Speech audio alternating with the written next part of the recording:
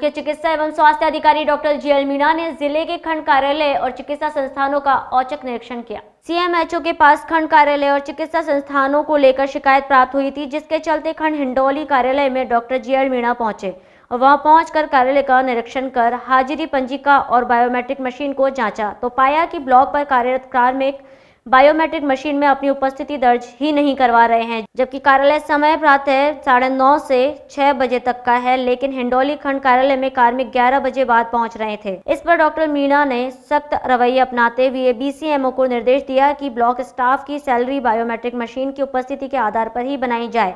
और कार्यालय में लेट आने वाले कार्मिकों को जमकर लताड़ लड़ गई। इसके साथ ही स्पष्टीकरण मांगते हुए नोटिस जारी किए। आशा सुपरवाइजर नारायण सिंह के बिना सूचना अनुपस्थित रहने की शिकायत सही पाए जाने पर नारायण सिंह को तुरंत प्रभाव से एपीओ किया।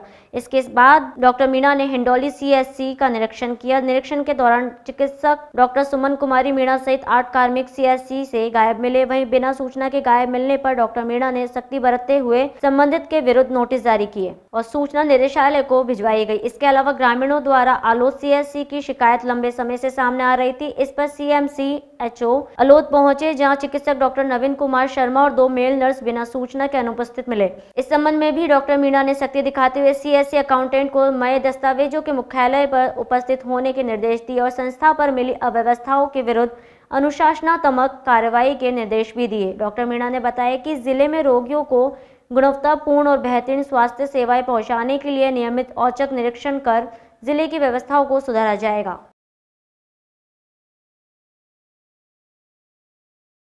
सब्सक्राइब करें। ऐसी और वीडियोस को देखने के लिए बेल आइकन पर क्लिक करें।